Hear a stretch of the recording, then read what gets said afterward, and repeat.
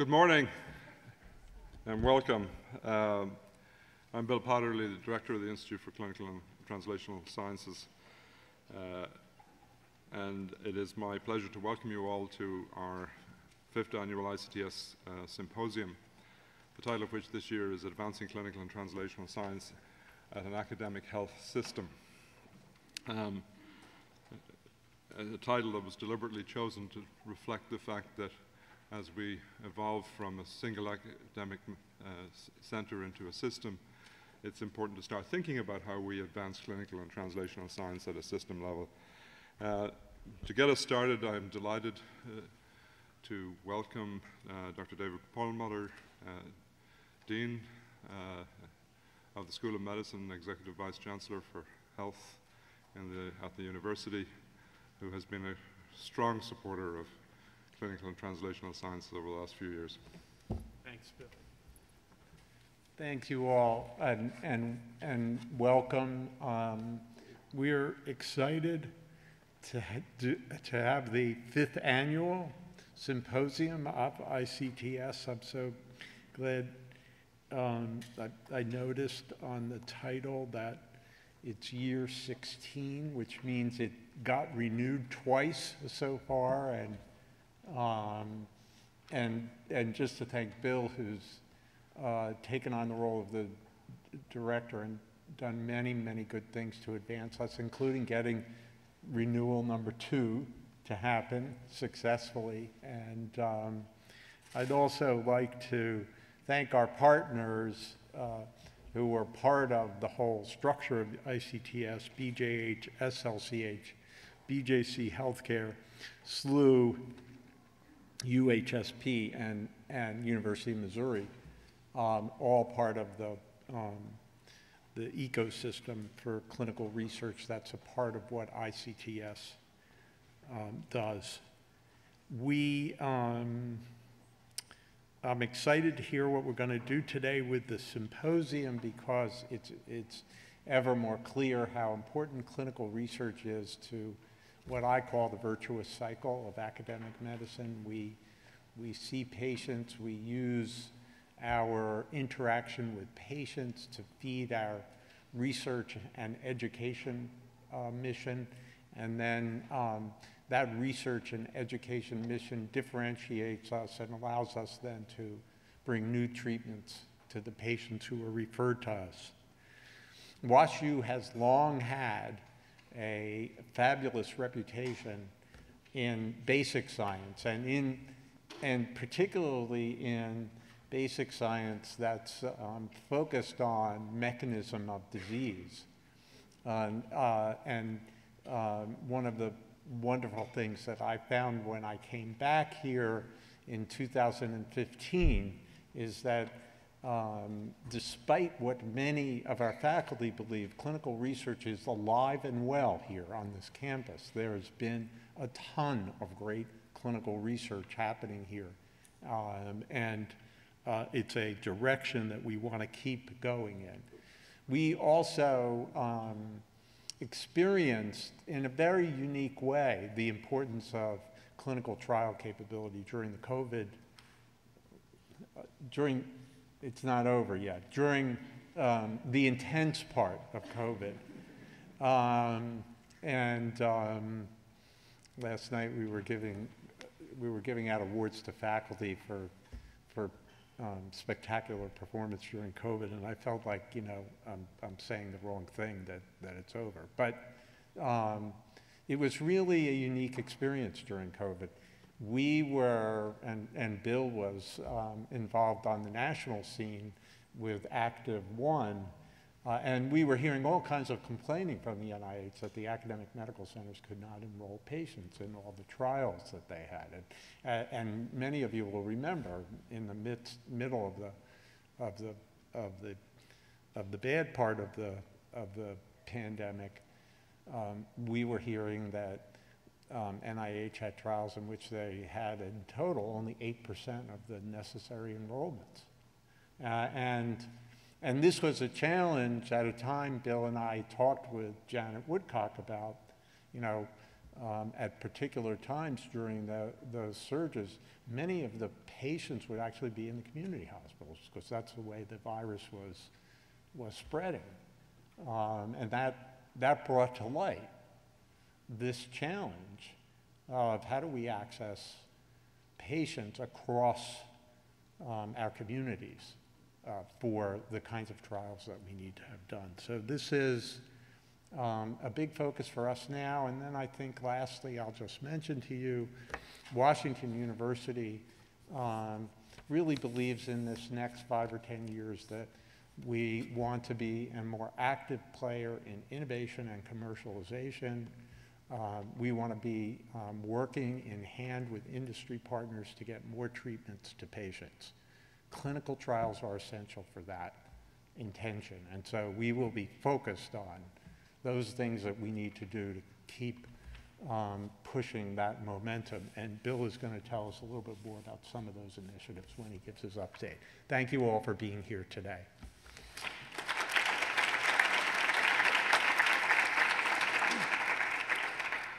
Thank you, David. And uh, I, th uh, I, think, uh, as, you, as you mentioned, uh, this is indeed a, an opportune time to think about what we've learned from the last number of years uh, and how we can advance clinical and translational science, uh, not only here, but contribute to the national debate and, and, discussion about that.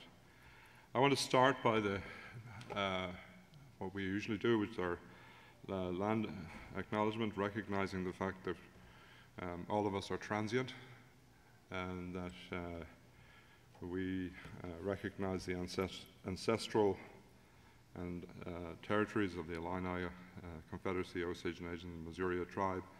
And this is a way of recognizing the fact that all of us um, are contribute to uh, the history and, and will contribute to the history of this area, this region, and this, uh, and this nation.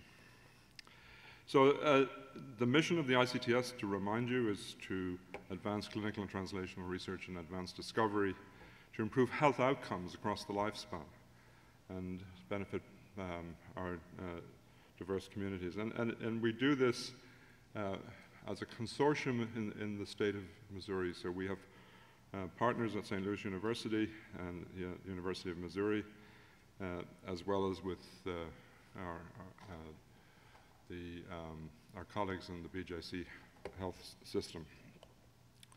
And clinic, just to very quickly remind you that, that uh, clinical research is, is, as David said, a, a virtuous cycle. Um, WashU's historic strengths uh, have been in, in preclinical and early clinical uh, translation, but we have built uh, substantial infrastructure and increasingly uh, highly regarded competitive and uh, important research programs that bring this into clinical trials, into practice, uh, and into populations. And, uh, and this is something that uh, we will continue to emphasize. And the support of the institution, and particularly the School of Medicine, is critical in augmenting what the support we get from the NIH in order for us to do this more rapidly and more effectively. Um, we one of the things that we, has been an innovation at Washington University and, uh, is the translational science benefits model, which was developed by Doug Luke and his colleagues at the Brown School, and is now used by over 20 uh, CTSAs across the country as a way of measuring impact. You know, as one of the things that, is, that we all recognize now, impact is more than just academic papers and grants. It's also about what we contribute to healthcare, to the, our community, to the economic benefit of uh, the societies and, and, regions we, we live in, and ultimately to better healthcare policy. And, and certainly, I think all of us recognize over the last number of years how evidence uh, informed policy will be critical if we're going to ultimately um, change the way we approach healthcare in this country. So we have a new um, website that actually ha has tools for either uh, centers, organizations, or individual faculty to measure their impact and allow them to, to uh, show what they're uh, uh, doing and, and, and, its impact over time. Um, in collaboration with the Institute of Public Health uh, and with the Department of Medicine, uh, we have a new Center for Advancing Health Services Policy and Economics Research. Again, this whole role of advancing research that will not only inform how we uh, have more efficient and more effective and impactful health services, but also um, how that might ultimately influence uh, policy. And uh, Karen Joynt Maddox, who's in the audience and uh, would be happy to, to, tell anybody about it at the break. And uh, uh, she co-directs this with Jim McBride from the Brown School. It's, David mentioned the impact, and I just wanted to highlight one uh, story that I think is critically important. Um, Tim Miller here uh, is um, basic scientist, physician scientist working on ALS who has received support from the ICTS uh, at different times over the last uh, 10 years, 12 years. And just in the last uh, six months, a clinical trial that he was actively involved with and the leader of, for the first time uh, showed that uh, for one variant uh, of ALS, uh, single-stranded RNA interference could actually lead to a, a, drug that improved the outcome of ALS. Um, it's a small number of patients because only a small number of, of patients carry this particular mutation. But as a proof of concept that we can take something from basic science into the clinic and improve the outcome of a previously untreatable disease.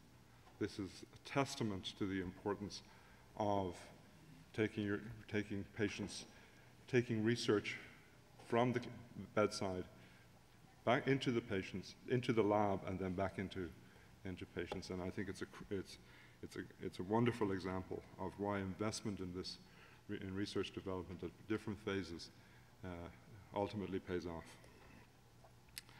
Um, David did not mention the fact that uh, we continue to be a major leader in, nationally in NIH research funding, so I'm happy to, to, to say that. Um, but that's done in part because we have wonderful investigators who get NIH funding.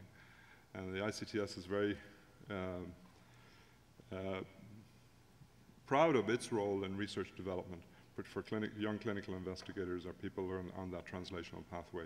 We've invested a lot of resources in our research development program to help people get their grants.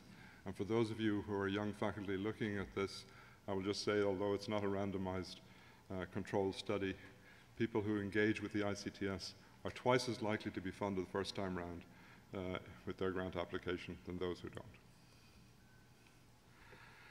Uh, we invested a significant amount of effort in, in uh, during the COVID in helping people do pilot grants. We, and I, have talked at previous meetings about the great success we've had uh, in, in, supporting the collaboration at a translational level uh, between uh, Ali Ellebedy and Rachel Presti that led to in, in incredible insights into the nature of the immune response initially to the, to the virus itself and then later to, to the vaccine.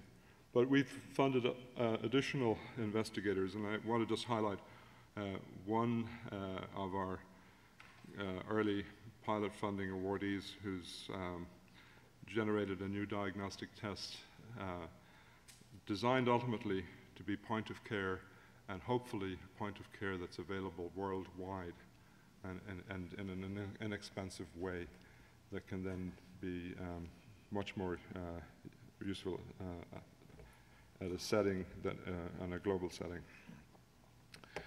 The, one of the things that is critically important to clinical and translational research is engagement with our community. And we have been committed to community partnerships. Uh, we have a very robust community partnership program uh, led by uh, Angela Brown and, and Vetta Thompson, and uh, where we have really looked not only at our partnerships uh, here in St. Louis with underrepresented populations, but also recognizing that the rural population in the United States is actually falling behind every year in terms of life expectancy and healthcare outcomes compared to urban populations. And as, is- and as, as we are located in the middle of the country with a significant uh, rural hinterland, that's part of what we need to do. But it, as an example of our community partnership, um, we, we have uh, the ICTS and, and, and the IPH collaborating with community-based organizations has uh, been working to improve COVID uh, vaccination in underrepresented populations, and this has led to new partnerships and new um, uh, insights that I think will improve our ability to uh, uh, deliver other healthcare and other areas of, of uh, interdisciplinary research. And I want to particularly uh, congratulate uh, Angela Brown and Elvin Geng for leading this initiative. One of the, things that the last three years also taught us all about was the need to uh, address uh, equity uh, and diversity. And we have started a new initiative um, to really e- enhance both the recruitment and importantly the retention of historically underrepresented uh, populations in uh, medical school faculty.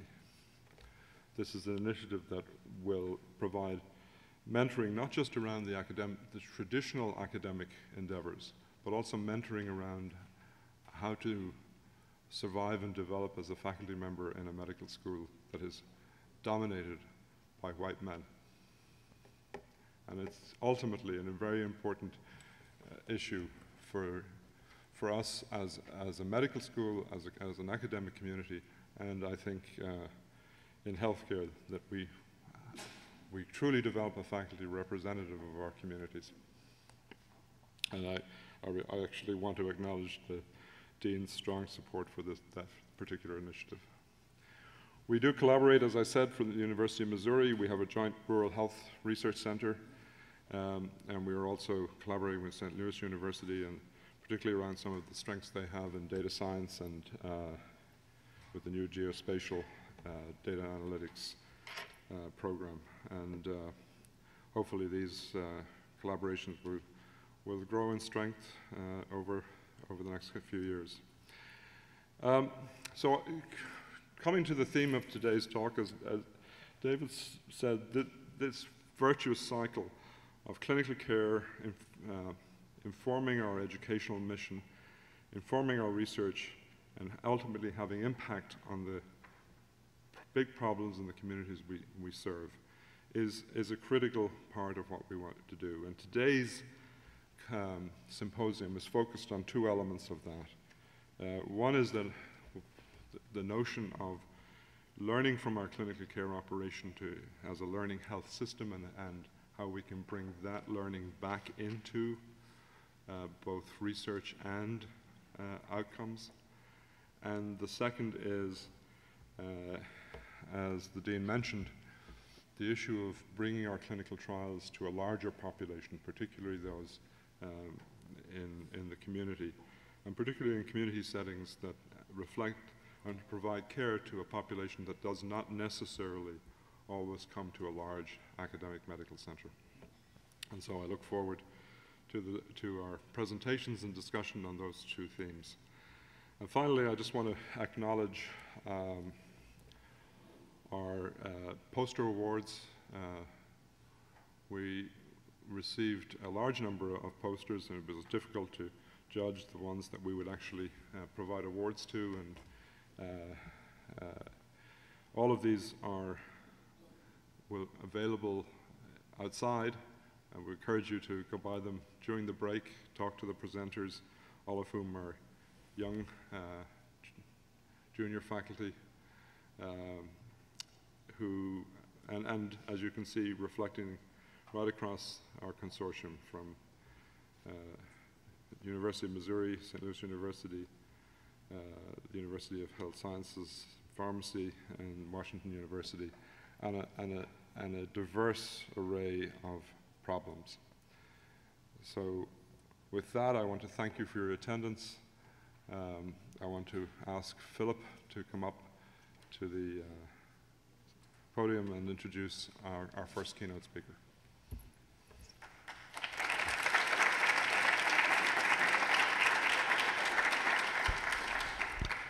All right. Well, I am very fortunate to get to introduce our first speaker, who happens to be a very close friend and colleague of mine, uh, Dr. Chuck Friedman. Uh, and I promised him last night over dinner I would not tell any embarrassing stories in this introduction, so I'll try to keep this uh, uh just focused on facts. Um, for those of you that uh, don't know Chuck, he is the chair of the Department of Learning Health Sciences, as well as the Josiah Macy Jr. Professor of Medical Education at the University of Michigan. Uh, he's also a professor of information and public health, and his work has really focused on and in many ways defined in the informatics uh, field what we now describe as a learning health system, and in particular, as Bill just alluded to, a system where we can continuously study and improve the care we deliver to individuals and populations. Um, before joining the faculty at the University of Michigan, uh, Chuck held a number of senior positions at the Office of the National Coordinator for Health Information Technology, including serving as the Deputy National Coordinator and Chief Scientific Officer during a time at which we saw a profound expansion of ONC's activities that led to widespread adoption of electronic health records as well as data sharing infrastructure at a national level. And Chuck was instrumental in those strategies. Um, and before that, uh, he's held a variety of positions at the NIH, both in NHLBI and the NLM. He is the founding uh, director of what was the Center for Biomedical Informatics at the University of Pittsburgh, now the Department of Biomedical Informatics there, and also served on the faculty at UNC. Um, and again, I feel really fortunate. Chuck has been a very close collaborator of ours uh, here at WashU throughout the entire COVID pandemic, uh, and we've done a lot of work together to try to advance data sharing in a way that I think is consistent with today's uh, theme. Uh, so with that, I will turn over the podium and again resist the opportunity to tell embarrassing stories about Chuck. So thanks, Chuck. Thank.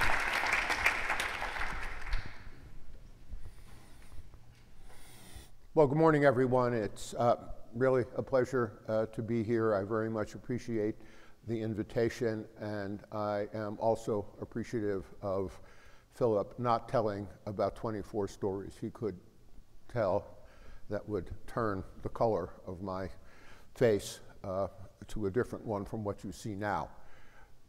Uh, so I'm going to be talking about learning health systems uh, today, and I understand we're going to have a robust opportunity for discussion later, and I welcome that.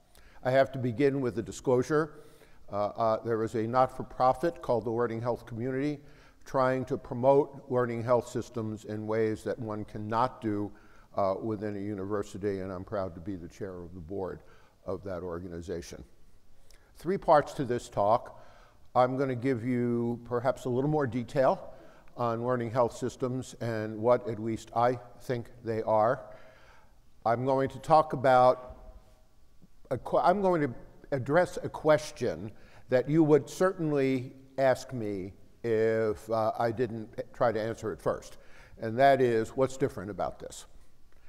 We've been trying to improve the safety and quality and efficiency of healthcare and other health promotion activities for decades. Uh, what's different from these other methods? And I'm going to introduce three main points discovery, emphasis on discovery, emphasis on continuity, and above all, and going to the title of this talk, uh, the third characteristic is infrastructure that actually creates a system that can function sustainably and scalably. And I can't emphasize this enough, and that's why I'm uh, making it uh, the third part of this talk, which is okay, fine, you've said you needed infrastructure. Well, what does it look like? What does it mean to have an infrastructure for a learning health system? And I will talk about that. So I'll begin with a definition that's actually very consistent with things that have already been said this morning, that a, a health system at any level of scale, and I'll come back to scale uh, in, in a moment, becomes a learning health system when it acquires the ability to continuously and routinely improve health by marrying discovery to implementation. And this notion of a marriage of the two, a good marriage of the two, is, is very fundamental to this idea. Now, where can I read about this?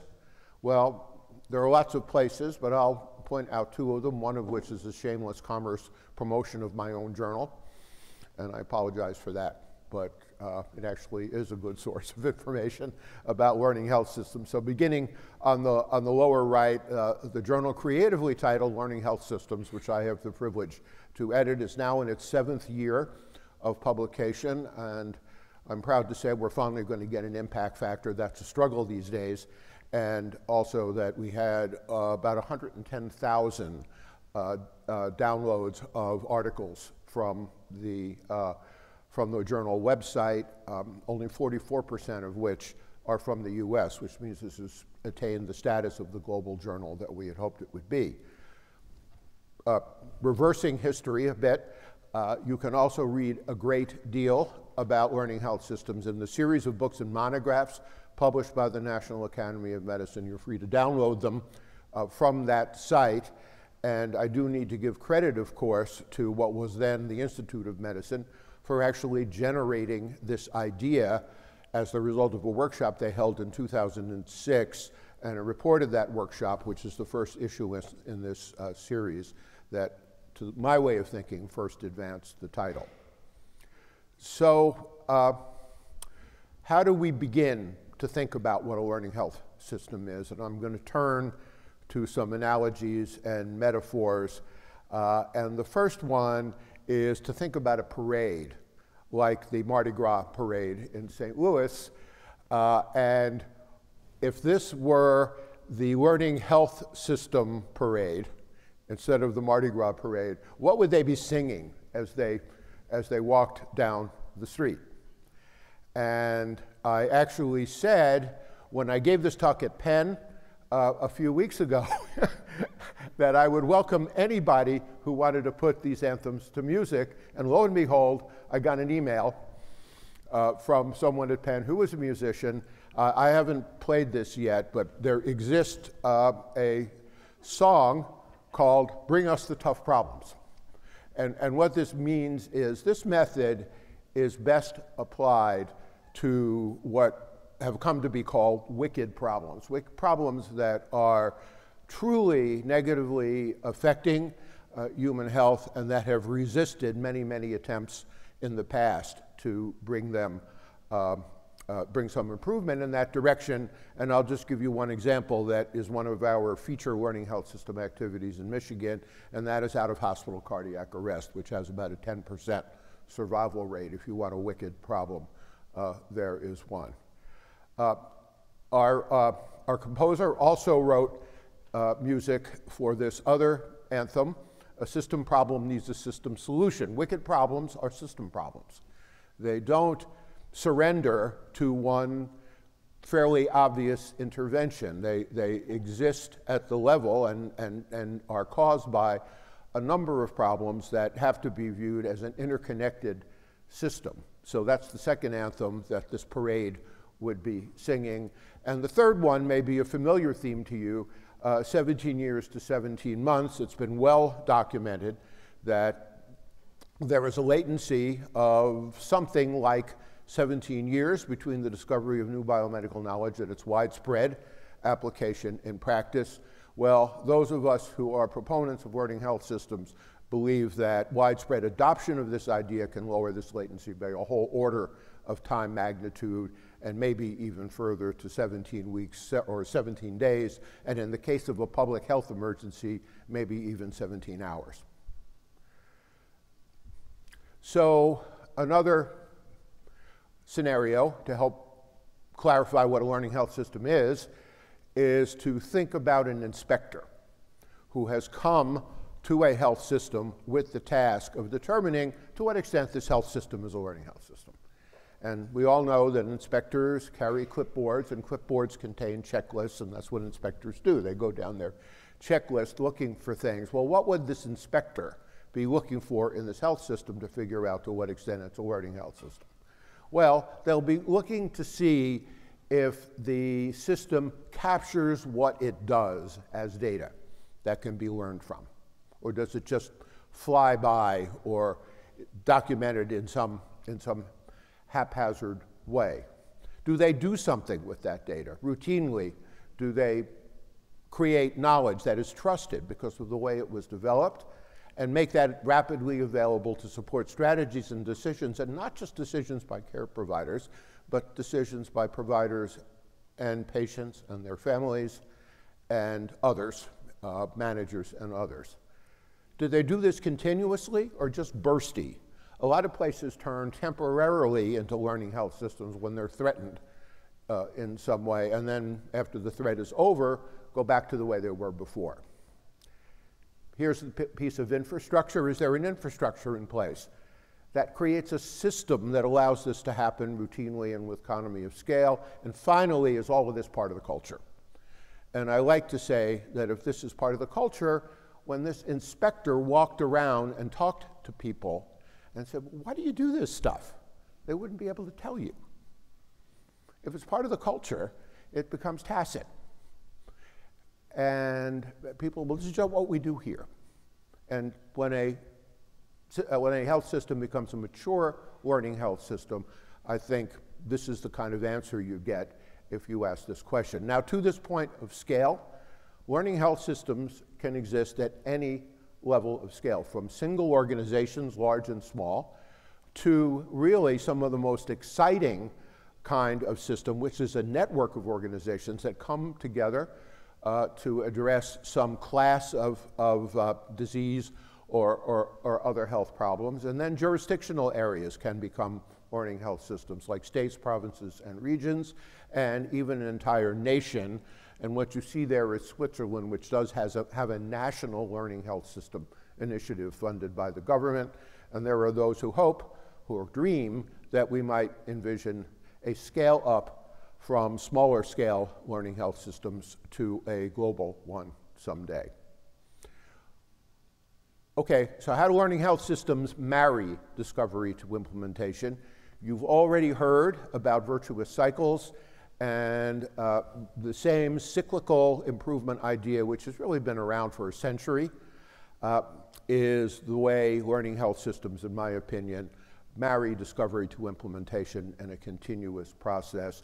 It plays itself a little more detail with the, a key step, which is the formation of an inclusive, multi stakeholder learning community which shares a passion to solve a particular problem. So I believe that learning health systems function by identifying and addressing really, really important problems, which could be anything related uh, to, to health and healthcare. And then the community proceeds through this cycle, first capturing what happens now as data, and also identifying the metrics that would be indicators of success uh, against this problem, and uh, also, therefore, uh, uh, uh relative to which improvement can be measured over time. They then assemble the data, entering the discovery part, uh, analyze it, creating new knowledge I call internal knowledge, which is then combined with external knowledge in the, in the literature and from other sources, because any problem important enough to form a learning community around it uh, will have been studied by others. The results are then interpreted by the community, and intervention or interventions is designed and this is where pragmatic trials could come in. You may decide uh, by way of the intervention not just to change it one way, but to, uh, to change it multiple ways, or change it one way and compare it to, to uh, usual care or some other kind of control. Then action is taken, the system changes, which brings the cycle around to the beginning of the second iteration uh, the implementation continues to be married to discovery because the results of the implementation then generate data to continue the cycle into a full second iteration over which, if things go well, further improvement will occur. So the bottom line here is that better health requires this full cycle, marrying discovery to implementation, and not what I was trained to do, which is this. Uh, and it got me promoted and tenured, got me a halfway decent salary, uh, but before I got interested in the idea of learning health systems, I was engaged in a short circuit of this process.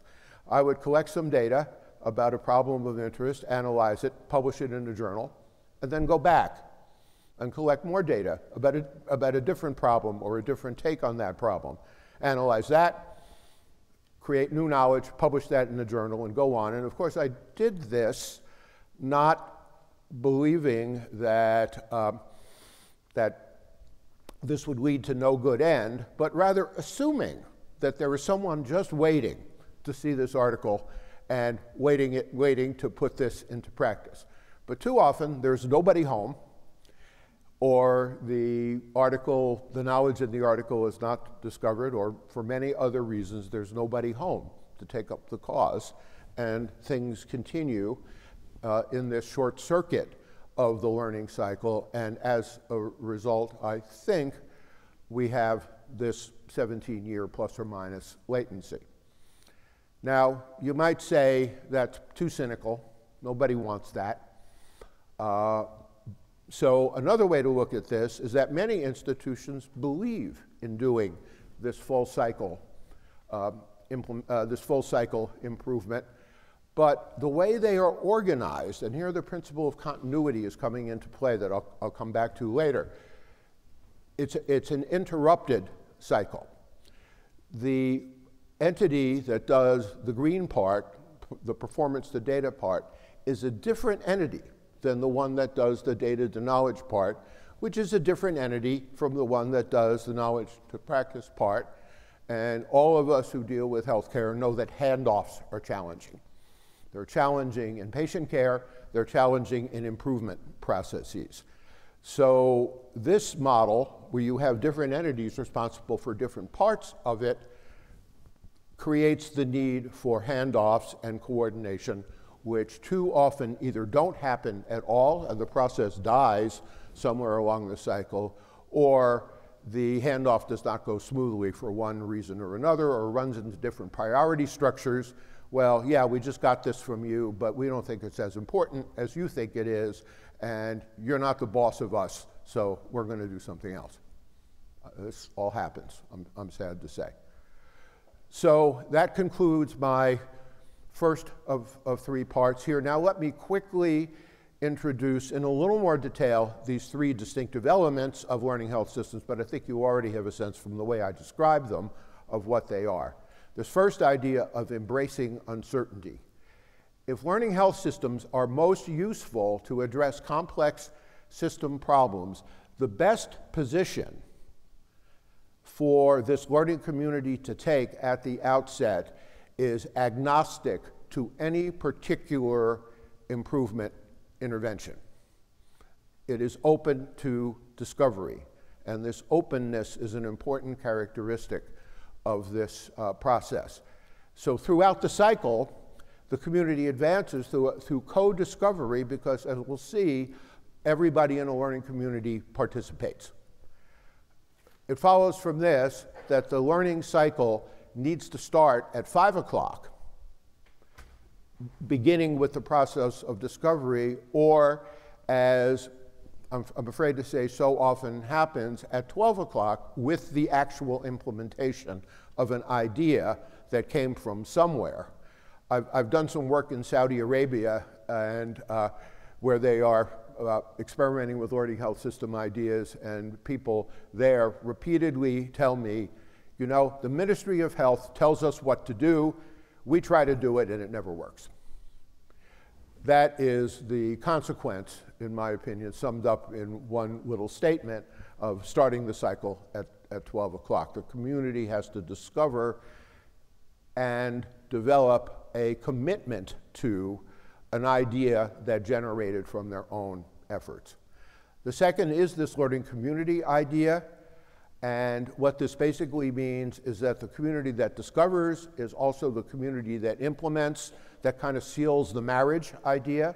So you can think about the learning community just kind of turning color as it goes through the cycle, but remains a continuous entity from the uh, green P to D, the blue D to K, and the red K to P. But it's the same core group that follows the whole cycle around, and not this. And, and I'm going to put some labels on the different entities that might, in this interrupted model, uh, also uh, uh, uh try to complete a cycle. Uh, P to D people could be a group of program evaluators at one part of the institution. D to K could be another group that call themselves health services researchers or embedded health services researchers in another part of the organization, and then there might be change implementers or quality improvers uh, in the uh, in a different part of the organization, uh, tackling charged with that third part of the cycle. And if these are different entities, you see the potential for uh, uh, handoffs and all of the problems associated with that. Now, learning communities are very special. And I learned uh, from uh, Peter Margolis and his colleagues at Cincinnati Children's Hospital about five or six years ago, where, uh, uh, where a lot of very, very good learning health system work has been done through a collaborative called Improve Care Now. Uh, how important running learning communities this way is that they be multi stakeholder with passion coming from the members who are pursuing a shared goal I was introduced there because they've worked a lot on inflammatory bowel disease in children, and I talked to parents of these young adults and adolescents and who are volunteering their time for this. This, this passion uh, idea is, is, is really important, and it's showing up in our out of hospital cardiac arrest work in the same way. I'm sorry, I didn't mean to hit that. So, co production, co discovery, uh, engaging all members of the learning community is very, very important here. Strategies are co-produced. It's not top-down. Uh, the leadership that's required is a special kind of leadership uh, where the leader has to ensure that no one dominates uh, the community.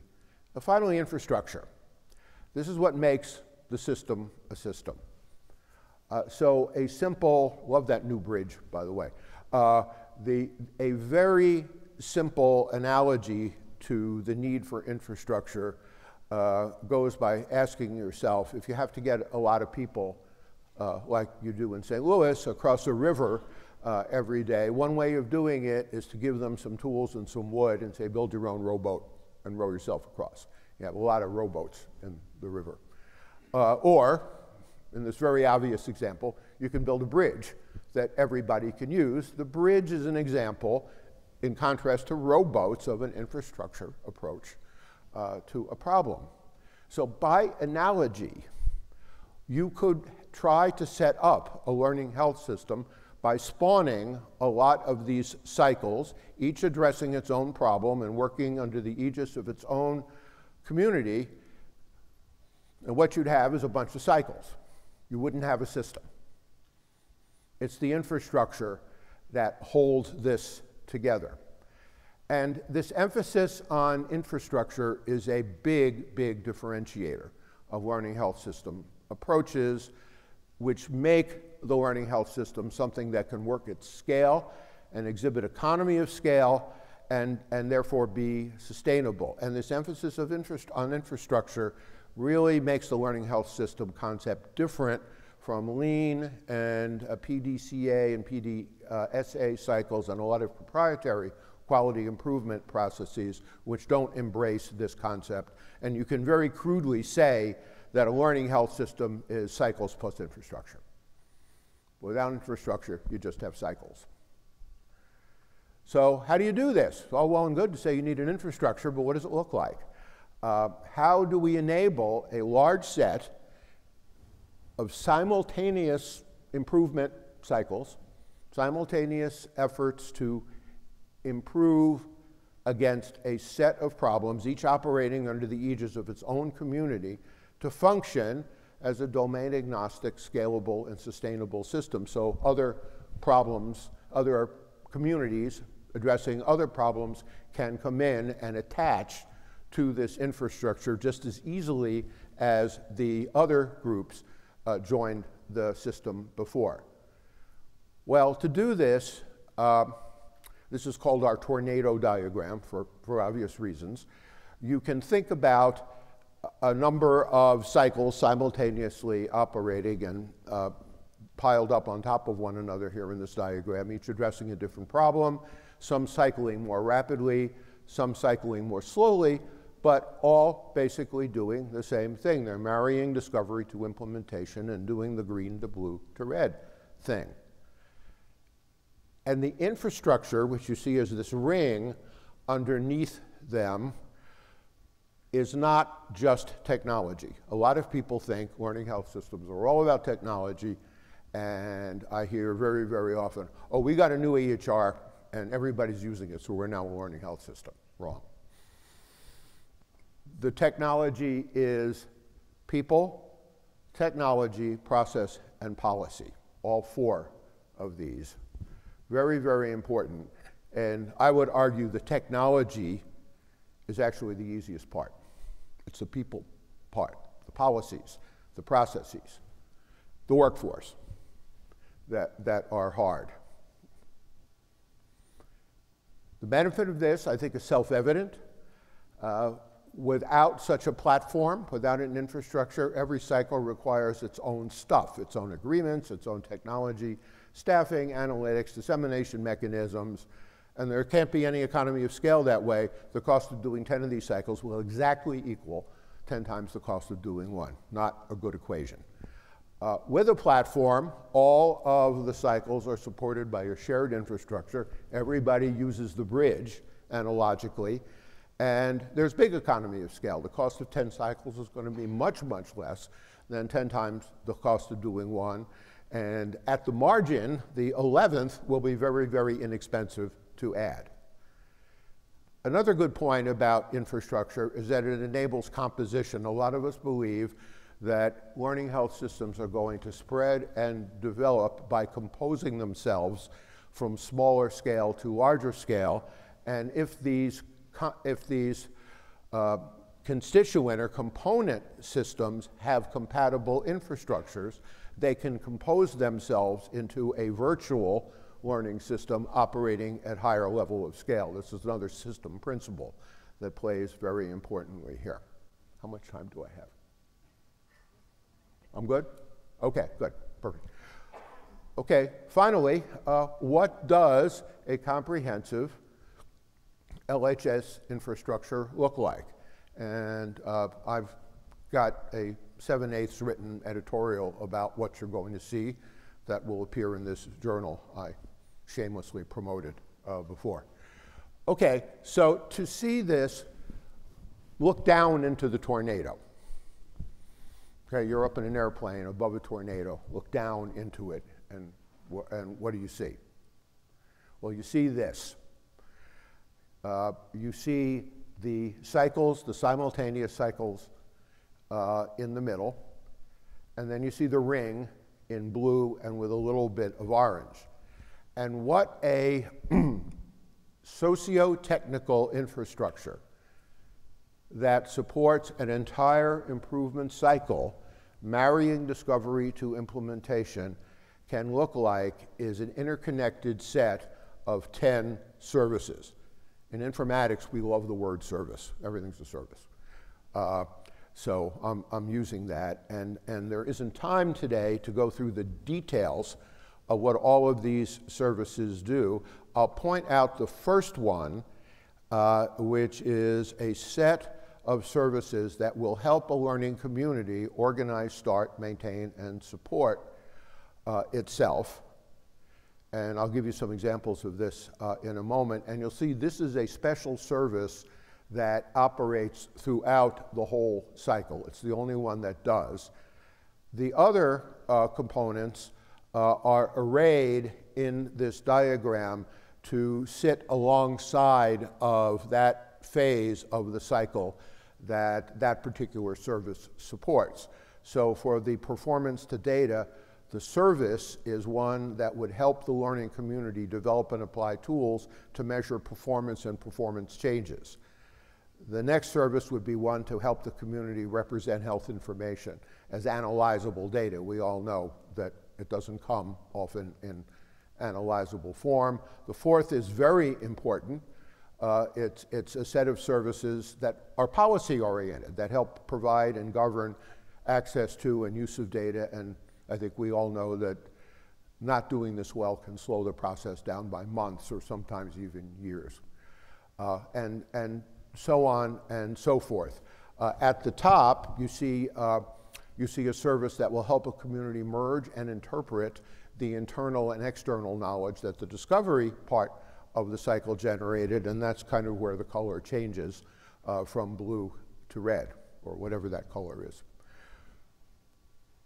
So here's um, a summary of kind of uh, what each service provides. Group process for one, published instruments to do measurement for two, adopted standards for three, agreements and templates for four, technical platforms and statistical packages for five, knowledge synthesis methods for six, uh, consensus processes for seven, knowledge packaging messages for eight, technical and communication platforms uh, for nine, and implementation frameworks for 10.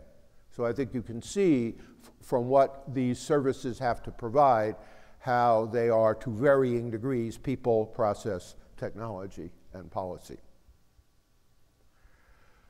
So uh, one way to think about how to assemble an infrastructure, and I think there's good news here, because I think WashU and the University of Michigan and many, many other uh, call them research advanced, like you're number three, and I think we're number nine, uh, research institutions uh, actually already have.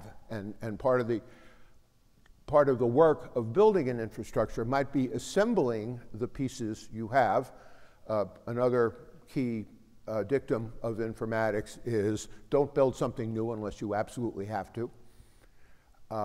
So uh, no one's, but no one is selling a comprehensive infrastructure kit.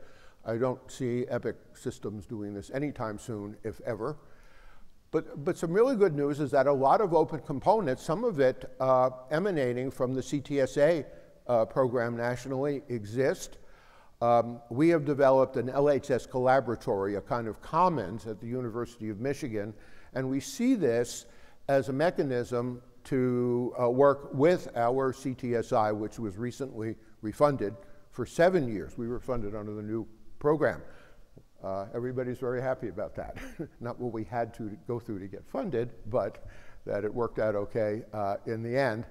Uh, and uh, the more compatible these components are, uh, obviously, the greater the possibility of composition into a higher scale system that WashU and Michigan with compatible infrastructures could very easily become a virtual system existing at a higher level uh, of scale. So here's my splash slide showing you all of, uh, just a sample of the open infrastructure components uh, that exist. Every one of these is open source. You see some very familiar ones there like uh, FHIR and PopMedNet and I2B2, uh, and uh, coming around to the implementation side, people who are doing work with computable biomedical knowledge, which is a particular interest of mine, uh, but, but some ones you may not have thought about as infrastructure. For example, the method of deliberative dialogue, which is a way for a multi-stakeholder group to achieve a meaningful consensus. What does it have to do with learning health systems? Everything. If you can't get that community to work and progress through deliberation and consensus, the process is uh, going to stall. You see familiar REDCap there, uh, kind of at, uh, I don't know, 7 o'clock on the cycle. So, in closing, um, some sound bites going back to my main points. What are learning health systems? They improve health by marrying discovery to implementation. What makes the approach different? This idea of embracing uncertainty, that no pre commitment to an intervention exists at the time the community starts. This notion of continuously engaged communities so that there are no handoffs, and I can't resist a football analogy, therefore, no fumbles. And uh, finally, uh, infrastructure, very important, which makes the system a system enabling economy of scale and sustainability. Uh, what does an infrastructure look like? Well, the best way to think about it is, is as a set of services that, to varying degrees, uh, include people, process, technology, and policy. Uh, please write to me if you have any questions that we don't get to in the discussion to follow. Uh, it's, it's always a pleasure to uh, talk about this uh, to groups that I know are interested, as you all are, and situated for various reasons to take this idea forward. Thank you very much.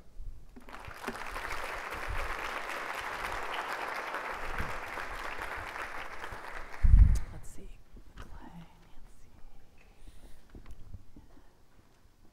Great. Uh, why don't you sit one more? There you go.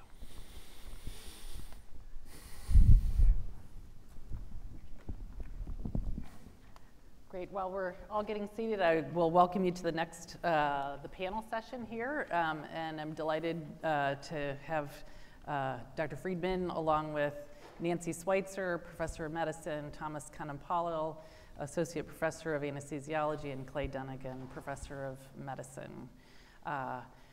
Uh, I'll start it off. We're gonna, we will open up for questions, and we have two folks in the audience, uh, but we'll start with a couple general questions. Uh, you know, I was re- really intrigued by your talk, Chuck, uh, when you talked about how do you, how do you integrate all of the different parts uh, of this, and I guess I wondered what other ideas people have on the panel. You, um, Sure, you want me you can to- start. Uh, well, I'm, I'm tempted to say it's becoming somewhat formulaic. Uh, that part of the infrastructure that I'm talking about is a set of resources to help people do this. We have a downloadable public document called uh, Creating and Maintaining a Learning Community, uh, uh, for example. And uh, one way to look at integration is how you keep this process moving. Is that was that the sense in which you, uh, which you asked the question? Uh, this is going to be a strange thing to say, and it sounds like magical thinking. Uh, but these communities, because they are composed of people who are passionate about solving the problem, keep it moving. And they want to go uh, to the next stage. And sometimes they're very impatient, and sometimes they say, all right, we know enough now. We're ready to go and do, we want to do something. We now know what we want to do. And part of the facilitation process is to say to them, no, you don't.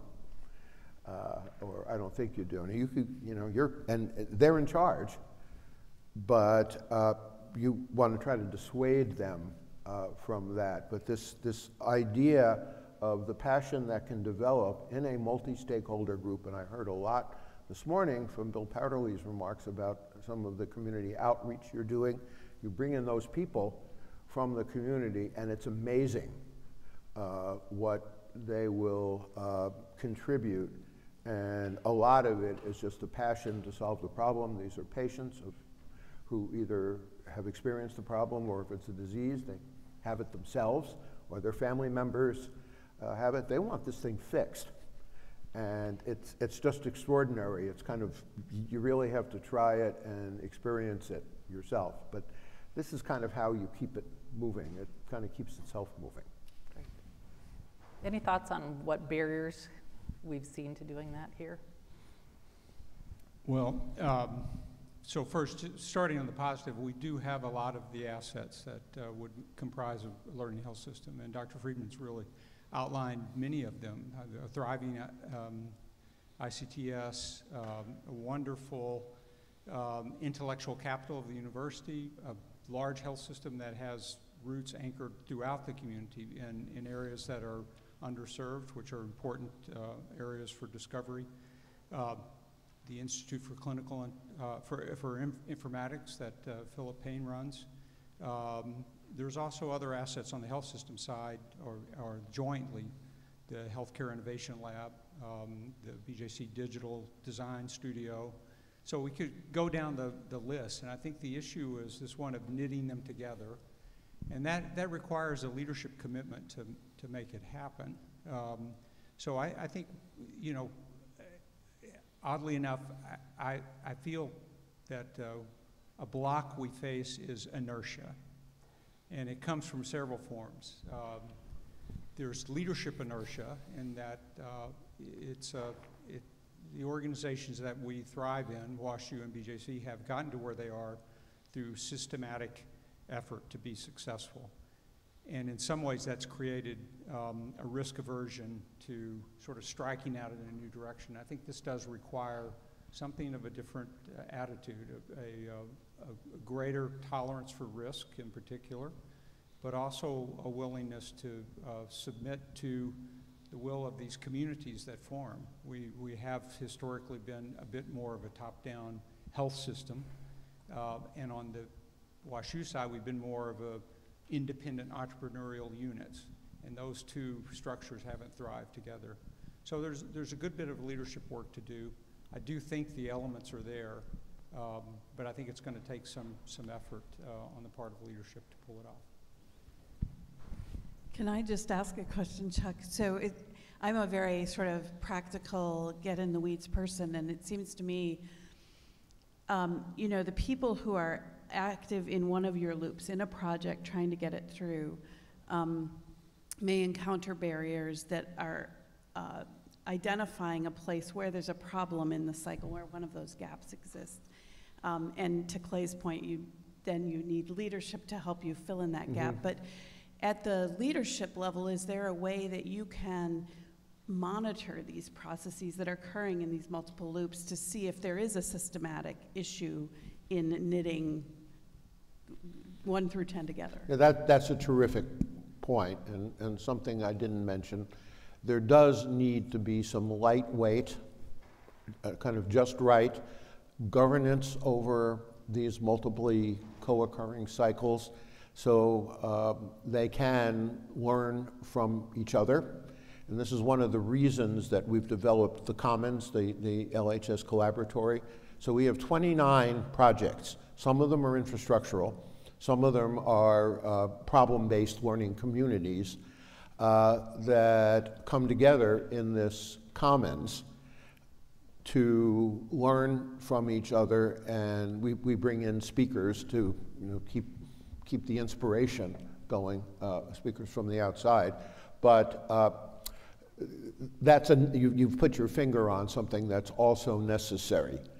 And uh, we are um, we are now proposing actually for the uh, for the problems that are very clinically and internally oriented, uh, the role of a clinical champion for uh, for the learning health system. So we're, we're, this doesn't need a czar uh, or a czarina. It it uh, it, it, needs uh, just the right kind of pushes, and I, I call that lightweight governance, but it's absolutely necessary. Thanks for that point. Um, I just, um, I think one of the most important things I picked up from your um, talk this morning was um, the idea of wicked problems, right? Like, so I don't know if you used it on purpose, the idea um, that LHS is a, a, a, learning health, building a learning health system is a wicked problem. And the idea of a wicked problem comes from a German philosopher who had like multiple ideas about um, what a wicked problem is. And two of the things that I think struck out to me was there's no stopping rule for a wicked problem and um, there's no right or wrong answer. Does both of these, uh, you know, fundamentally apply to um, when we try to build a learning health system? So my, my sort of broad question in this regard is, um, how do we evaluate whether some of the things that we're doing are successful, right? If this is a continuously wicked problem with sort of continuous solutions, um, uh, are there specific things that we should consider uh, in this entire process? Okay. Uh, so there are a lot of evaluation questions that arise very naturally here. One is within a cycle itself, are we making it better, or are we making it worse? Or are we leaving things pretty much the way they were before? I, I mentioned that the, the first, one of the first things that happens is this P to D part where measurement occurs of how bad the problem is now. And presumably, uh, what you're going to do is, after cycling through and trying an intervention, whether it's a pragmatic trial or just a one shot, everybody does the same thing, you're going to come back around to that P to D and, and, and be able to measure. You have to have those metrics at the beginning, otherwise, you kind of don't have a North Star. Uh, in out of hospital cardiac arrest, we have an easy metric. Uh, uh, survival with good neurological function. Uh, but others require, one of the things the community has to co-produce is consensus around those metrics, which is why deliberative dialogue is very, very, uh, and, and similar methods are very, very important as part of the social infrastructure uh, uh, uh, to, make, to make this work. Another level of evaluation is the system working as a system? Are these people talking to each other? Uh, we have a we have a kind of a negative example in Michigan uh, of a set of cycles that don't talk to each other, at least historically didn't. And these are the CQIs, or collaborative quality initiatives, which we've had for many, many years. Uh, Blue Cross pays for them because they write 72% of the health of the health insurance in the state. So they're very interested in better care at lower cost. So they spawned around 20 of these initiatives, each addressing a problem. And if you look at what each of them does, it's a learning cycle. And they have a learning community. It's not as diver- they're not as diverse as they're now recognizing they would be better off having them be, um, but they're operating independently of each other, and they're tremendously expensive for that reason. Every, they're rowboats. Every piece of this infrastructure is replicated in every cycle. They're finally seeing the light and creating an infrastructure um, supporting them, and I'm, I'm very uh, pleased to see that. So, one kind of evaluation is to what extent do we have an infrastructure that's working? Are we seeing economy of scale? Uh, are uh, they learning from each other? And that's one, the CQIs do do that. They have an all CQI quarterly meeting and they trade war stories. Uh, so, so that's going on. So this, this could be evaluated at many levels, but I think the most fundamental one is inside a cycle, are we making anything better? I have a general question about stakeholders. Obviously, there's so many stakeholders in this, and how do you incentivize them, and what are the barriers to getting community involved, and who, who pays for it, and or does it have to be a passion that drives the cycle? Well, it's never just one thing. It's, it's, it's kind of all of the above. Uh, I'll come in our uh, PM&R department at Michigan. The uh, chair wanted to make his department into a learning health system at that level of scale. And when he renegotiated his chair appointment for another five years, he got the dean to agree to give him money to incentivize uh, people to uh, participate and pay for some of the support staff that would be needed. Uh, in uh, out of hospital cardiac arrest, we took advantage of the fact that there are several uh, grants and studies in place to generate a lot of the data that were needed to form and to support the learning community but the only people we have paid in this learning community are the patients. And uh, we've paid for their, we haven't even paid them a stipend, we've, we've paid for their travel and parking. You all know how much of a challenge parking can be. Uh, and we, uh, and, and this thing has been going for three and a half years now. And it's, it's still, it's, it's, it's going strong and we're getting the American Heart Association, which has supported some of this, with, with grant funding uh, interested in spreading this idea. So, so some of the uh, the, the, the, the success of some of these cycles could generate funding from en- entities, foundations, professional societies, the government, governmental agencies, and others to put resources uh, into it.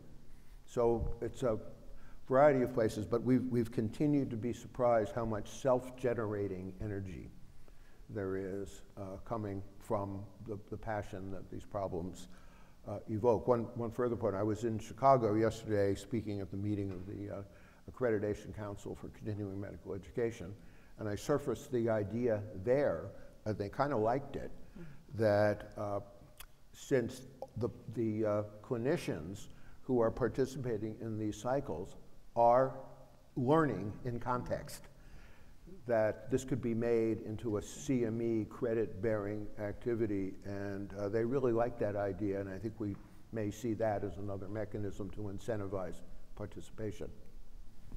Panel have any, any comments on stakeholders and how to engage them?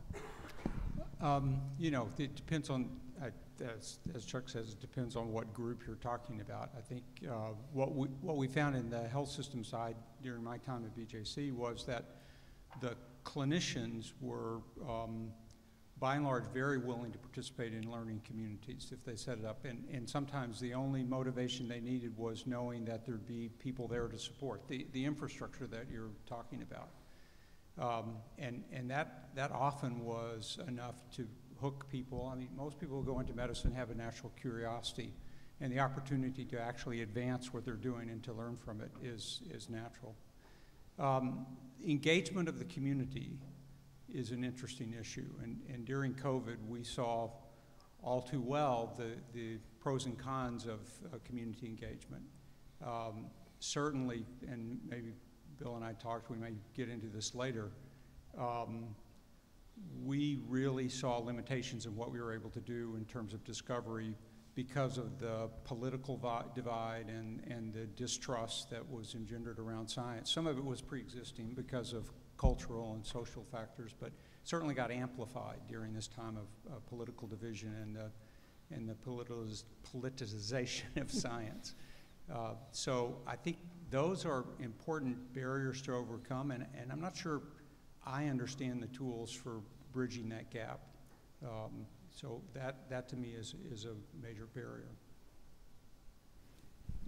I would just comment that, um, you know, I think it's really important the different stakeholders care about different outcomes. And being in the data collection process, you have to be sure you're collecting the data to inform all of the stakeholders about the things that matter to them, not just the data the scientists think is important, but the data the community cares about has to be collected as rigorously and fed to them as regularly as you would, you know, the clinicians or the health systems researchers, et cetera. Yeah, it's it's also the challenge of bringing to bringing together the stakeholders together, right? Like it's the right stakeholders at the place, and oftentimes it's only a partial set of people at the table for this discussion, right? And that becomes a challenge over time in terms of both um, understanding the problem and building those uh, interventions and getting to the solutions. That's been at least during COVID. Also, those have been the challenges. So, so your point about uh, people having different levels of valuing of, of different outcomes, um, I, I know I'm pushing deliberative dialogue, but it, it, it, it is a method that was uh, expressly created to bring diverse communities to a, to a meaningful consensus you know, built around compromise. And I've, I've watched this work now on, on many occasions, and you know, occasionally somebody will throw their hands up and walk out, and never come back. But, but that's, the, that's the rarity.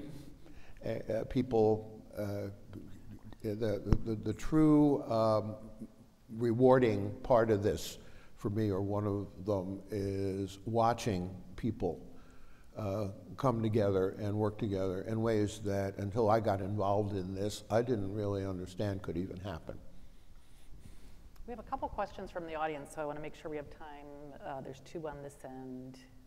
Do we have the microphone? Yeah, thank you for an amazing presentation. I took so much from your remarks. Really appreciate it. You know, early in your talk, you, you discussed your, your own academic professional trajectory as sort of the short circuit of, um, of your career development, publication of papers, presumably then moving forward to grants uh, and promotion and tenure. But what you've proposed in this learning health system is actually a very integrated team science approach uh, to making things work. And so how, how do individual members of that process um, achieve uh, professional advancement? Uh, and, and do you have any suggestions for really how you can use the context of a learning health system and a team player uh, to evaluate um, uh, promotion and tenure, presumably, for academics in that system? Yeah, yeah, yeah, very good. Thank, thank you. A lot of things. Uh, one is uh, you can you can publish as empirical papers the work of a learning community. So uh, it's not like the implementation work somehow doesn't have a place in the archival literature. And it's not just my journal that will publish this. Uh, lots of journals will. Uh, so you could even get recognition uh, through the conventional uh, channels of, of publication. Uh, I, I think increasingly it's possible to get grants for doing this uh, uh, for doing this work. For example, uh, I don't know if we have any psychiatrists in the room, but the NIMH uh, issued a uh, program called EPINET, which is expressly designed to create a learning health system uh, for early psychosis intervention. Uh, as, as one example, and I think others, I think others are going to be uh, forthcoming. Uh, so we're seeing it's not a tsunami, but we're, we're seeing developments around conventional uh, reward uh, mechanisms. Uh, our medical school has a preponderance of faculty, physicians, on a clinical track, which has a number of sub-tracks uh, in it, which uh, express career development pathways for, for advancement and the clinical track is perfectly designed, and these criteria are perfectly designed, in my opinion, to support for advancement uh, learning health system work. Uh, then there's the uh, then there's the CME idea that is just bubbling up uh, as as another uh, as another mechanism. So not everybody's going to participate, but for those who choose to do so, at, at least at our place, uh, for physicians, there is, uh, there's ample uh, opportunity to be recognized and, uh, and career advanced uh, for this kind of work. Thomas? What about the ethical considerations of publishing research with learning health system type, like quality improvement type of work? Does it have to go through processes, ethical considerations, IRB sort of processes? Uh, I'm saying the same thing over and over again, but it varies. Uh, some studies lend themselves to uh, IRB uh, regulated uh, research, and uh, others uh, come down through a more of a quality improvement perspective, and they are, they are sanctioned and governed through, as everybody knows, a, a different set of criteria. So it's, it's kind of you use your judgment, and this is and for any given situation. When in doubt, ask the IRB, of course. Uh, uh, but you know, I think most IRBs are pretty reasonable about uh, these uh, kinds of decisions and uh, what requires their jurisdiction and, and what doesn't. Another question? Yeah, hi. Um, sorry, over here. Um, it seems to me that the embracing uncertainty is actually really, to some extent, the hardest thing because I think it goes against human nature. Um, I think, um, particularly if you're talking about people like people who work in health systems who are very time pressured, and people who are very passionate, um, we, we tend to short circuit um, on large data sets um, and come to conclusions and then just wind up confirming our own biases and don't get to an action. So, how do you get people who like to know that they know? How do you get them to embrace uncertainty? So if it's a wicked problem, the, the more wicked the problem, the greater the probability that uh, people will have nothing more than vague hunches about what might work. Uh, the less wicked the problem, uh, the more likely it is that people will have a lot of confidence that they know the answer.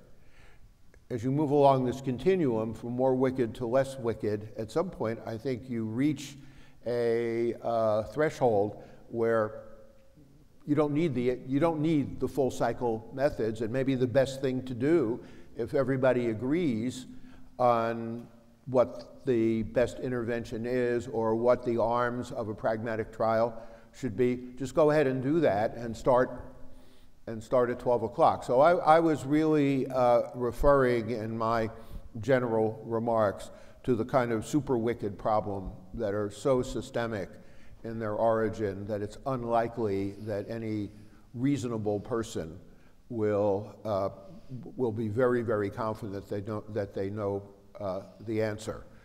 Uh, and the other thing I'd point out here is that the communities are self regulating. And if somebody stands up and says, I know what this problem is, I, I, I, I understand it, and all we got to do is X, uh, the more, uh, uh, uh, the, the more, call it reasoned people in the group will moderate uh, th that uh, point of view. But I think what your comment suggests is very, very important that there's probably a level of less wicked problem for which we don't need a cannon and, and can, use, uh, can use more uh, simple uh, and straightforward methods to address it. Clay?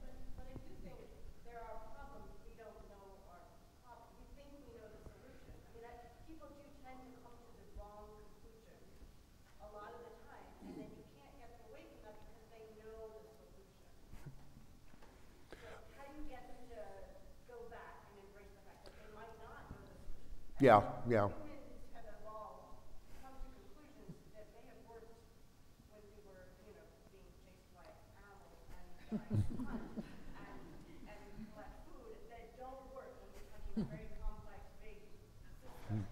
Yeah.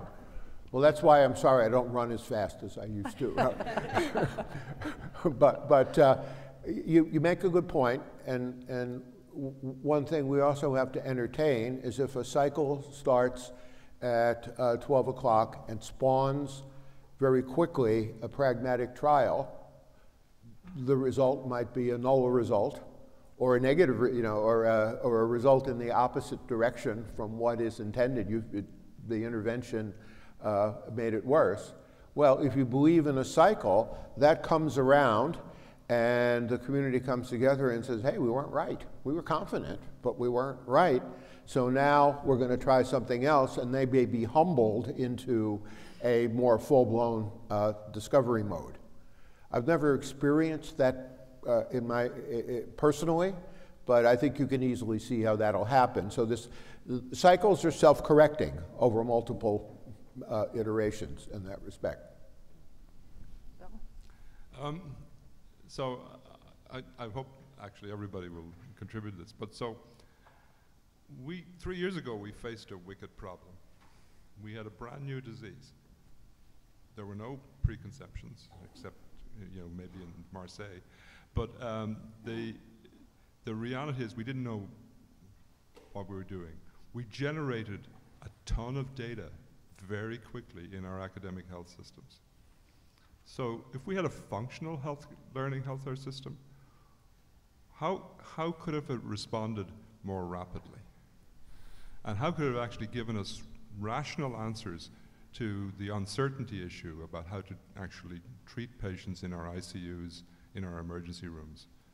Because in that situation, your goal of getting seven, from 17 years to 17 months is too long. It needed to be 17 days. Right. So, uh, first of all, more shameless plugs.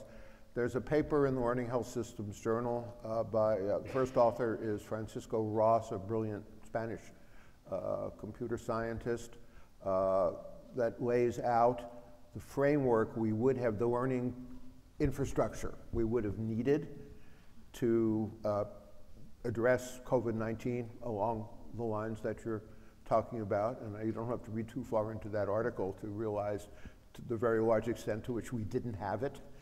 Uh, so that's, that's one way uh, to look at it. You might want to take a look at that uh, article. But I, I think you can also view learning health system development as a uh, continuum, back to our inspector and the clipboard.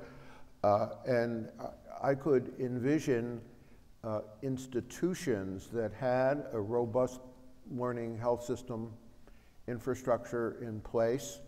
And uh, one example might be Mayo, that was tremendously uh, that was, that was tremendously uh, successful, I think, in, in publishing solid science uh, around uh, COVID-19. It's kind of, it's, I think they took advantage of their infrastructure. So at that level of scale, if we had more institutions with uh, learning health system infrastructure in place, things would have been somewhat better if we had better mechanisms for composing those uh, individual institutions into learning networks. Uh, that was attempted, famously attempted by N3C. Uh, and uh, I think we all have our opinions about that, and I know where the uh, votes would congregate. Uh, that, that didn't work in part I would say, because the individual the constituent institutions did not have uh, infrastructures in place, nor did, nor did the people who were putting N3C together have that vision. They just saw it as a big data resource. Uh, yours truly uh, actually uh, tried to append an implementation on ARM onto N3C and was told uh, by the acting director of NCATS at the time that this is a wonderful idea, but we don't have any money to support this.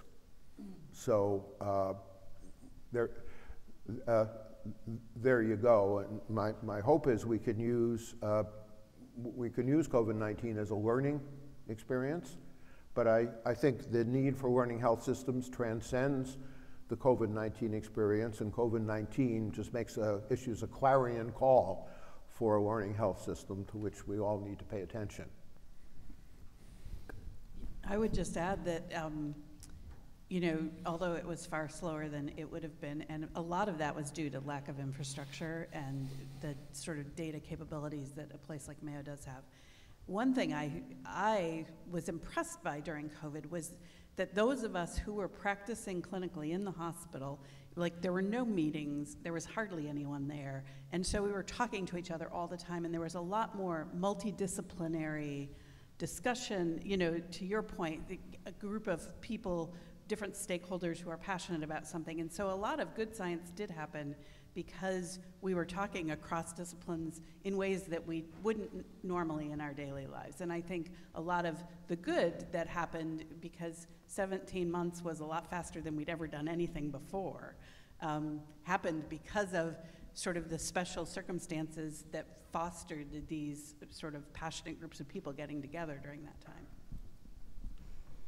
Yeah, I, would agree. COVID was interesting um, because it provided um, evidence in both directions of the things we're talking about. So there were there were aspects of what happened that we progressed much faster than we would have historically. Um, in terms of you know the, the uh, in St. Louis, the the large health systems partnered together to come up with policies and approaches Um, we were in some, to some extent, a bit unfettered by the conventional restrictions, which would have been, oh my gosh, is this a good idea? What, you know, we need to test it and it needs to be vetted. Because the, the time pressure was, I mean, people were dying in our emergency rooms. It was, we don't have time to go through all that. We've just got to do it. On the other hand, we saw nationally how long it took us to go through discovery cycles. I, I think the UK showed great evidence of what, what could happen if you really set up the whole system as a learning health system. You could get to answers quickly. I mean, we should have had the answers about hydroxychloroquine and everything else within a few weeks. And uh, yet it took us, you know, better part of a year to start to get to definitive data. So um, COVID, COVID both uh, showed us what could happen if we relax some of our risk aversion and uh, also revealed the, the weaknesses because everybody had their own infrastructure, their own way of doing it, and we couldn't hook things together very well. Yeah, no, I, I think all the points have been spoken about. I'd say two things. One, um, the point about social structures being sort of an impediment to a lot of the things that we could do. So, for example, even to just to bring together the three academic institutions in the metro St. Louis area took a lot of effort, right? Like processes in place, legal uh, considerations in, in, exchanging data. And the other part, I think, Bill, I would say, is that um, uh, for COVID, it was a reactive process. I think we're a better maybe a little going to be a little more proactive in terms of the things that infrastructures that we have built, um, um, at least in terms of data and the structures that we could come together as BJC and WashU in bringing together just the data took us, I want to say several weeks before we figured out exactly how we were going to exchange data and things like that. So I think at this point, some of those things we have figured out in terms of proactively thinking about this as a learning health system as opposed to being, you know, reactive to the next pandemic that comes by.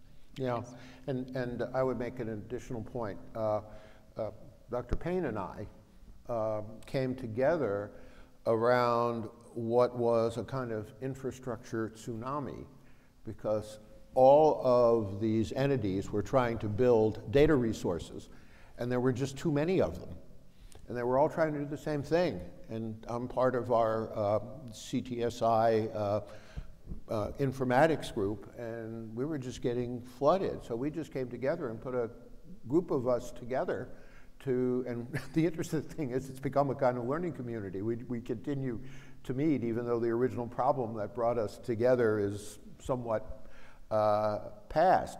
But what brought us together was a recognition of a need for infrastructure that was overdone and unregulated. We asked my former office, uh, ONC, which actually has in its mission to take control of this, but Don Rucker, who was the head at the time, didn't want to touch it. It was just a political uh, live wire, political third rail. And, uh, and then uh, what they also missed, and this goes to my point about N3C not realizing the need for implementation infrastructure in addition to data infrastructure, is that what they were going to end up with is a lot of papers. Mm-hmm. and, okay, fine, what are we going to do with those papers that come out of N3C? Is anybody, we need somebody there ready to take, receive them and do something with them. There should be some consensus process that we tried to put into place to process this work coming out of N3C at national scale and offer at least recommendations for what of this is implementable. Another question here. Good morning. Thanks, Dr. Friedman. Um, I was intrigued by uh, something you said, which is that, uh, which I agree with, implementing these platforms has uh, an enormous potential for increasing efficiency in our systems and also reduce cost. But beforehand, um, what would be in your mind, and you may speculate, the cost, the initial cost, not only in terms of money, but in terms of people and um, time to have a system in place like this in an institution like ours, for example, with our partners around? Mm-hmm. Uh, it, it's, it's a great question. Uh, when I talk to my chair colleagues about this, uh, a, a, a response I typically get is we can't afford this. Uh, and we're going to have to install uh, millions more dollars worth of IT uh, to get this to work. And uh, the approach I have actually taken, and, and in addition to advocating, is a gradual bottom up, put one foot in front of the other, start with a few cycles, let them run, do their thing, let the demonstrated success, if there is demonstrated success to demonstrate, uh, generate uh, further interest, take the substantial infrastructure we have that I'm sure is very similar to the infrastructure that exists here, uh, and from ethicists to uh, IT geeks, uh, uh, fold them in, use this commons as a mechanism to get them all talking. I, I would not advocate uh, a top-down uh, approach to this. Uh, the, the cost of doing it that way in the larger scheme of things is, does not have a very big coefficient uh, at, attached to it. And uh, it kind of, and when people say this is going to cost too much money, I say to them, I don't think you're thinking about this the right way. Uh, let's, you know, it's, and it, it's, a, uh, it's a coalition of the willing. And some of the willing have, uh, some of the willing have money to put into this, not a lot of money. Uh, uh, I've invested a lot of my department's uh, discretionary funds to support this one with a little a few bucks here and that one with a few bucks there, as have others.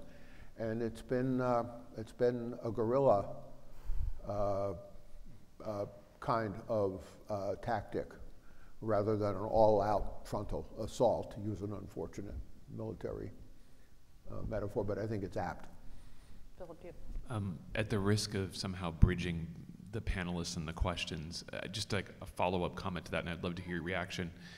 Um, a lot of times when I think about the infrastructure, I actually think that we have the infrastructure but because of how we are set up in terms of decision making, in terms of what I often refer to as the connective tissue between that infrastructure, we fail to leverage it the way that you're describing. And so, in some ways, I think of it not as a um, investment problem, but rather how we leverage our investments. And I, I, feel like I'm getting dangerously close to the comment you made earlier, and I already tweeted about, which was just because you have a new EHR doesn't mean you have a learning health system. Mm-hmm. But I would argue that you know mature academic health centers like this one often have almost all the pieces you described. But we don't use them the way you described. So I would put that out there maybe as a provocative statement to respond to. Is it a matter of investment or is it just a matter of culture and leadership around how we use that investment? Because I would argue it is culture and leadership.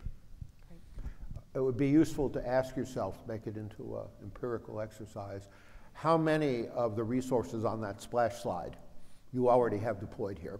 Or if you don't have them deployed at enterprise level, that you have substantial pockets of people who are using uh, that. I think that would be an interesting exercise, and I bet you the fraction would be pretty large. We have one time for one last question, then we have a break. Um, thank you. I think over here. so thank you. That was a wonderful talk. I actually wanted to go back to what my colleague raised because I thought that was a critical point. Is that of uncertainty? Um, I can't help but wonder if uncertainty is related to the concepts of openness and humility um, in our community. When I say community, I don't just mean the scientific community, academic community, but at large. Um, for me personally, I feel like openness and humility results from wide, wide variety of exposures, so diversity and inclusion of people who are at the table, who are at the room, who are in the building. So that brings me to this gentleman's comments about community inclusion. Um, we talk a lot about community engagement, but often I feel like it's this checkbox we have to mark to appear inclusive. But I think COVID have reminded us all that we can have all the fancy science in the world, but it will go nowhere. So can you comment a little bit on how your learning health systems embrace the concept of having community co-ownership of the health system instead of just mere engagement and input at discrete time points? Okay, uh, so one way to come at this is to just tell a few stories about things that I've seen happen. Uh, a really nice development is that PCORI funded one of the PCORnet networks, the one that we're in, that's based in Pittsburgh, to uh, actually uh, be, become a learning network by actually attempting to implement across several of the member institutions the results of some of the papers that came out of research in which PATH, network-based research in which PATH participated. So we've formed three learning communities now around three wicked problems, uh, one of which is chronic back pain. And we uh, are having early meetings of these learning communities. I'm attending as many of these as possible. And in one of the meetings, uh, well, the, one of the authors of the PATH study that uh, was prioritized through a deliberative dialogue process that we did to form a learning community. And the author of that paper was there. But also a lot of patients who suffer from chronic back pain were there. And the author of the paper, very confident sounding person, uh, said, well, uh, here's what my paper showed, so this is what we should do and just implement the recommendations of our paper. And the patient said, wait a minute, not so fast. Uh, some, of, some of what I'm reading in this paper doesn't apply to us. The, the, the, the story is more, is, is more complicated, and we have to take the position that what your paper recommends as a result of the analyses that were done is something we should consider uh, but not at this point uh, be committed to do. And I'm watching this on Zoom going, yeah, yeah, yeah, yeah, go, go, go. Uh, and I, I, was very curious what would happen, and the paper author listened carefully and said, yeah, you know, you know, there's, maybe that's what we should do because everything you're saying is making sense to me. Every study has limitations, and uh, minded as well. So I, I think that as patient stories come into this, they are a profound uh, uncertainty fuel. Because uh, they tell their stories and the wickedness of the problem, the multifactorial, multifactorial causes of the problem, uh, the equity issues, social determinants of health, hey, wait a minute, it's all well and good to say I should go to a physical therapist, but do you know what it takes for me to actually get to a physical therapist? Uh, and, here are the problems I have getting it paid for. And suddenly, this is a social problem. Uh, if physical therapy is a kind of uh, effective uh, uh, treatment for low back pain, uh, all of a sudden the problem has shifted to getting people access to care they need that if they could only get it might be very effective for them. So it's the, it's, it's the multi-stakeholder nature of this and, and the facilitation of the learning community that allows these points to come out and not be dominated by one particular person who came into this thinking he knew the answer. I, I hope that helps, having a concrete example. Great with that last comment, uh, I want to close the panel. Feel free to come down and chat with any of the panelists. Uh, there's a break now for 10 minutes until 11 o'clock, and join us back then. Thank you so much. Thank you. Thanks for those questions.